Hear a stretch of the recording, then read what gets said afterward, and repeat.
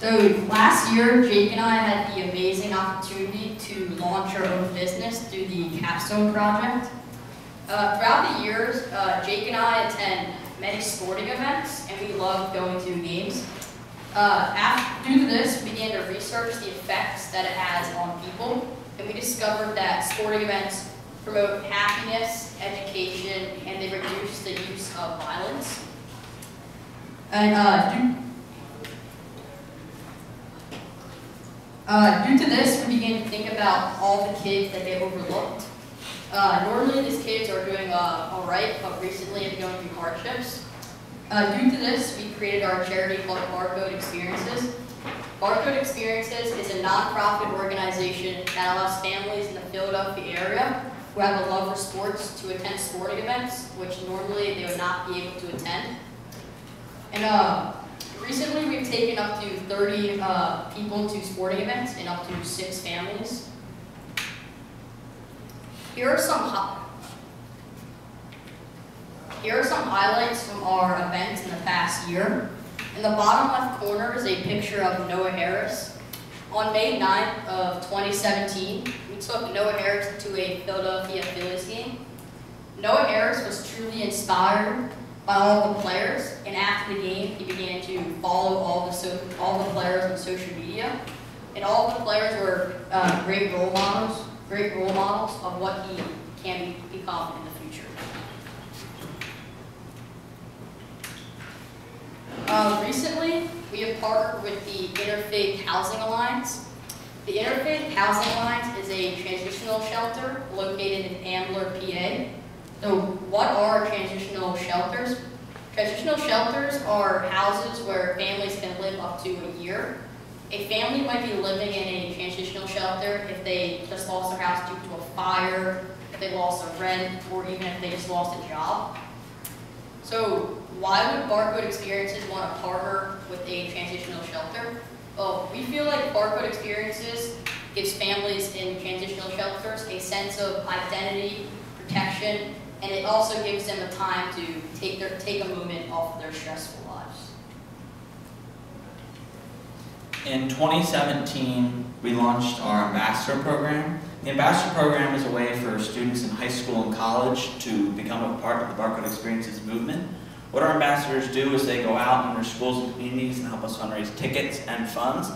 And in return, they're able to go to the sporting events with uh, families and serve as a mentor towards the kids. In the future, we plan to expand this program into clubs and activities within different high schools and colleges in the area. This will enable trustworthy and valuable ambassadors to spread throughout the whole Philadelphia area. So why would someone want to help our charity?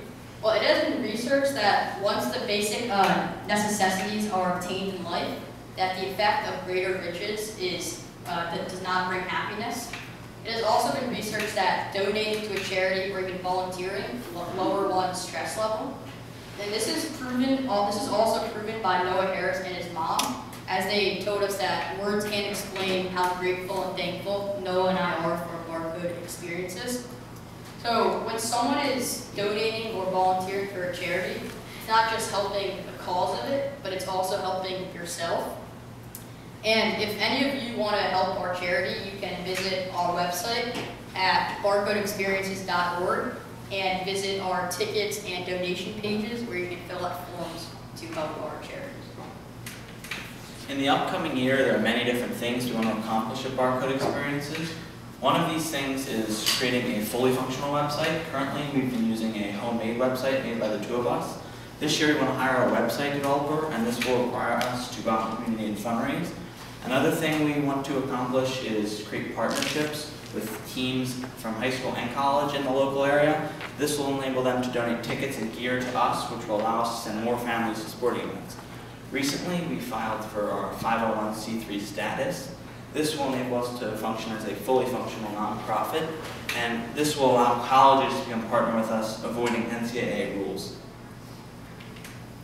So, uh, our ultimate goal as a charity is to be a source of happiness for families who are going through hardships.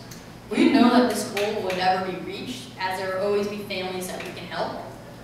Uh, there, are, there are three main ways in which you can help our charity.